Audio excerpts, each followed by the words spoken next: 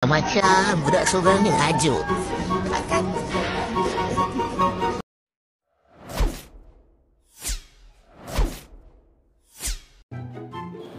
Apa yang pasti, ibu bapa pastinya sudah terbiasa dan masak dengan perangai unik serta kerenah setiap anak. Dalam sebuah video yang tular baru-baru ini, seorang wanita merakamkan gelagat seorang kanak-kanak yang sedang merajuk di hadapan sebuah kedai makan di Pontian, Johor. Budak lelaki itu yang bernama Malik dilihat merajuk sambil berpeluk tubuh di luar kedai makan ketika dipujuk bapanya. Cubaan si bapa untuk melihat dari arah hadapan wajah Malik gagal apabila dia terus memusingkan tubuhnya.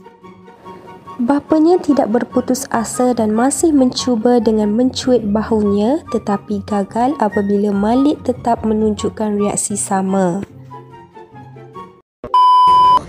Macam-macam budak seorang ni hajuk.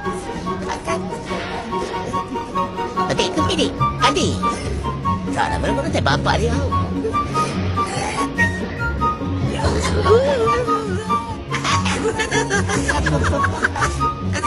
Ini perangai Muhammad tak? Ini perangai Muhammad tak?